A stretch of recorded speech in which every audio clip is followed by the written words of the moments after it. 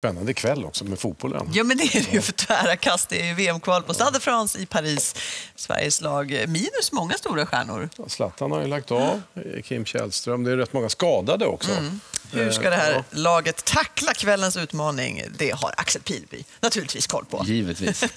God morgon. God du har listat tre saker som kan tala för en svensk skräll. Precis, jag har grävt djupt ner här i, ehm, i arkivet, höll jag på att säga, men i, i tankeverksamheten att försöka hitta saker som ändå kan tala för svensk del. Jag vet inte om det talar för svensk del, men vi har gjort en annorlunda uppladdning än vanligt. Vi har sett snökaos här i Stockholm, inte minst.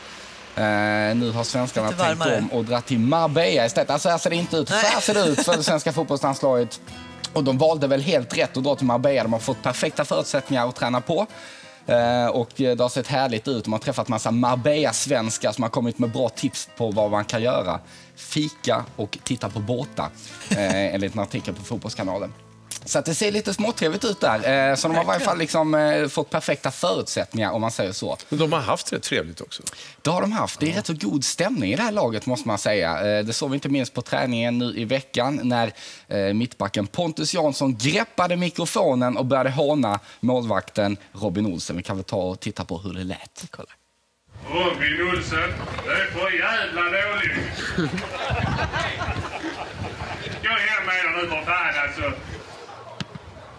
Ja, men kolla på den alltså.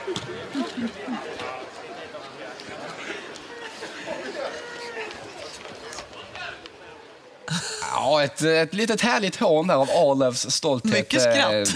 Eh, Pontus Jansson.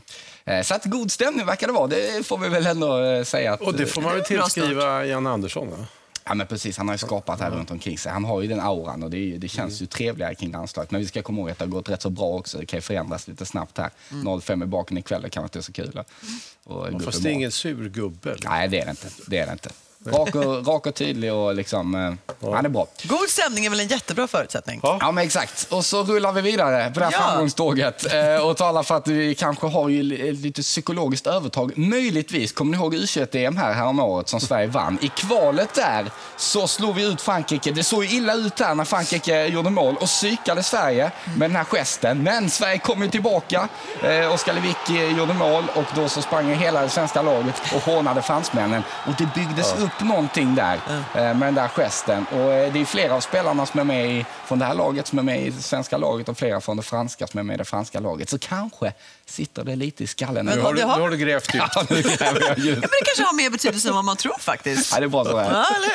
Ja, så att, nej, men, och dessutom har vi härliga kvalminnen. Man minns ju ett av mina första minnen, en parentes, det är ju VM, VM-kvalet 93 när Martin Dahlin gjorde 1-1 mot Frankrike. Gjorde en härlig målgest. Mm. Nåja, det var verkligen en det parentes. Kanske lever kvar också. Mer än 20 år sedan. Och sen Nåja. den sista punkten, det är överraskningsmoment. Eh, just det, vad menar jag där då? Ja, det är ny konstellation. Har du glömt bort Är det en nackdel det, eller fördel att Nej, men det är precis, Exakt, det är ingen Zlatan med eh, längre. Ja. Fransmännen, har de verkligen koll på vilka de ska spela mot? Mm. Den stora frågan. Eh, det är ju till exempel en svensk, vi har hittat på ett litet citat här, det är Didier Deschamps, här, tränaren, som undrar, Jakob Who? Jakob Johansson spelar från start. Mm. Gör sin första riktiga landskamp. Det undrar vi också. Vem är det? ja, Jakob Johansson, eh, bördig från Trollhättan, eh, slog igen med IFK Göteborg och spelar nu AEK Aten och gör det riktigt bra faktiskt. Eh, kan bli viktig. Han spelar ju för att Frankrike kommer ha mycket boll eh, och då är det en spelstil som passar honom. Men jag har, då, tror inte att Didier Deschamps har koll på Jakob Johansson. Det kanske kan bli en otäck alltså, överraskning för honom i Zlatans frånvaro. Men pallar ett nytt lag att stå upp mot Nej, det, är faktiskt, det är det som är frågan. Eh, Sverige klarade ju Holland där hemma, fick 1-1. Vi har sju poäng, lika många poäng som Med Frankrike.